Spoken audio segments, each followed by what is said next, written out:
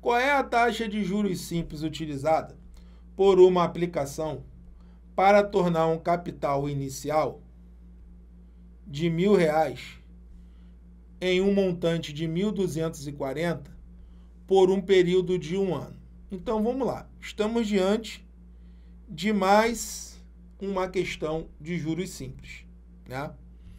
E para resolver uma questão de juros simples, nós vamos utilizar o quê? A fórmula. Não é isso? Interpretar, resolver. Nós vamos utilizar a fórmula.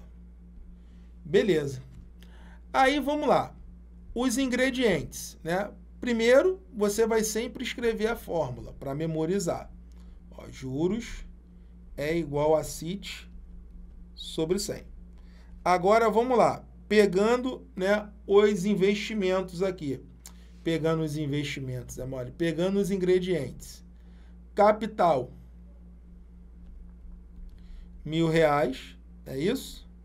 Montante, 1.240.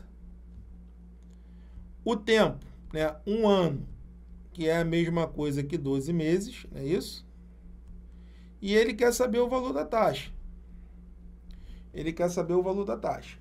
Então, vamos lá. Para aplicar a fórmula, né, a princípio eu preciso ali dos juros. Aí você já vai botar isso na tua cabeça. Se ele te deu o capital e o montante, ele te deu os juros. Então, vamos lá, me ajuda aí. Você aplicou mil, né? E resgatou 1.240.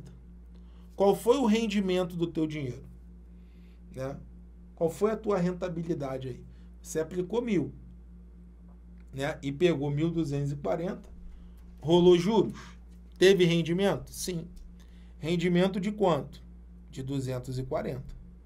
Então, na verdade, o que, que é os juros? Né? Os juros pode ser entendido também por essa forma, tá? Os juros é o montante menos o capital. Então, existe uma outra maneira de você encontrar os juros. Né? Quem é os juros? Montante menos o capital. Agora sim, família. Show do milhão, né? Agora o que, que a gente vai fazer? A gente vai aplicar a fórmula. Tá aqui, ó, juros. Ó, 240 é igual ao capital, que no caso aqui é mil reais, vezes a taxa, que eu não sei, vezes o tempo, que é 12, divididos por quanto? Por 100. Deixa eu voltar aqui para o meu cantinho para ficar te olhando. O que, que eu vou fazer aqui com os zerinhos, ó? Vou cortar, ó. Tchuk, tchuk, tchuk, tchuk. Não é isso? Aí vai ficar 240 é igual a 120i. E vai ser igual a 240 divididos por 120. 240 divididos por 120 vai dar 2. 2 o quê? Por cento. 2% o quê? Ao mês. É isso? 2% ao mês. Aí, o que faz o aluno errar a questão? Né? Nesse caso aqui. O que, que faz o aluno errar a questão? É que ele não sabe que existem três maneiras, aí entra a matemática básica. Existem três maneiras de se, né, de se representar né, a taxa. Você pode representar a taxa na forma percentual ou na forma fracionária ou na forma decimal. PFD. Aí você não vai esquecer. Ó. E a Cis Gran Rio adora fazer isso, hein? Essa covardia, tá?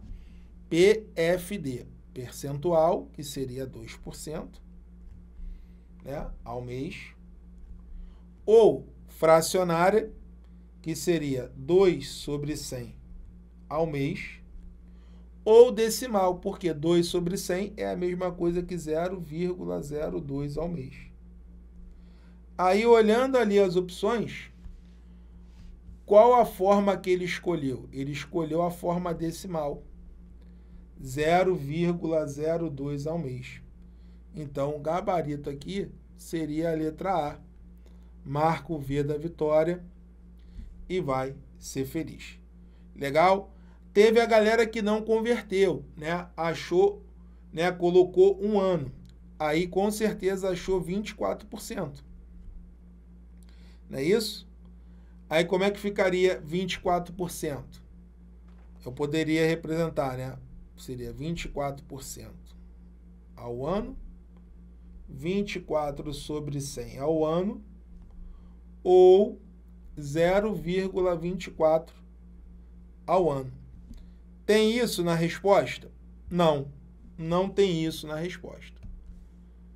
Aí você teria que passar de ano para meses. Né? 24% ao ano equivale a 2% ao mês. Aí você iria encontrar a resposta. Tá? Aí você iria encontrar a resposta. Tá? Quem colocou em ano se estrepou. Tá? Então, gabarito é a letra A.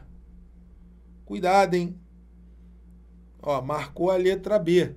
Ó, letra B tá errada, porque é a forma percentual. A forma percentual não é 0,02%. Teria que ser 2%. Tá legal? Cuidado com isso. Tá? Cuidado com isso. Então, gabarito, letra A. Tá aqui, ó. Matricule-se agora mesmo no nosso curso. Porque vai sair esse edital a qualquer momento. E, cara, a matemática financeira ela vai ser o, o, o divisor de águas desse concurso. Tá? A matemática financeira, como sempre né, na área bancária, é o divisor de águas. É o que vai ditar ali ó, quem vai ser aprovado e quem vai ser reprovado. E se você não antecipar, ah, Marcão, vou comprar o curso faltando uma semana. Vamos orar por você. Olha o que nós oferecemos nesse curso, cara. É para você gabaritar. Ó. Você vai levar um curso de matemática básica, um curso de matemática financeira. Novidade: você vai levar um curso de português, de língua portuguesa, tudo focado na Cisgran Rio. Você vai levar o suporte ao aluno, você vai poder tirar suas dúvidas. Né? Então lá você vai ter uma central de dúvidas. Você não está sozinho, tá? Nós estamos juntos, né? E misturados. Né? Você vai ter um local para tirar sua dúvida. E você ainda vai levar quatro bônus exclusivos. Você vai levar um curso específico de probabilidade estatística, que caiu no último concurso. Você vai levar né, um SEX de matemática, que é um curso de exercício, um SEX Cisgran Rio de português e um cronograma de estudos. É isso aí, e um cronograma de estudos. Se você somar tudo isso, realmente vai dar um valor absurdo. 1.736. Mas hoje você vai levar tudo isso por apenas 12 de 40,98, menos que uma pizza no final de semana, ou 397 à vista. Legal? Então esse é o curso que vai te aprovar. Pode comprar outros cursos por aí. Tem curso na internet que eu já vi até de 50, de 10 reais. Pode comprar, que você vai voltar para cá. não vai adiantar de nada. Né? Você não vai ter esse método aqui, né? um método que vem aprovando milhares e milhares de alunos. Então, isso você só vai ter aqui. É, e tudo isso tem um preço. Né? E o preço, na minha opinião, está bem acessível. Tá? Pela qualidade que você vai levar, o que você vai levar para sua casa.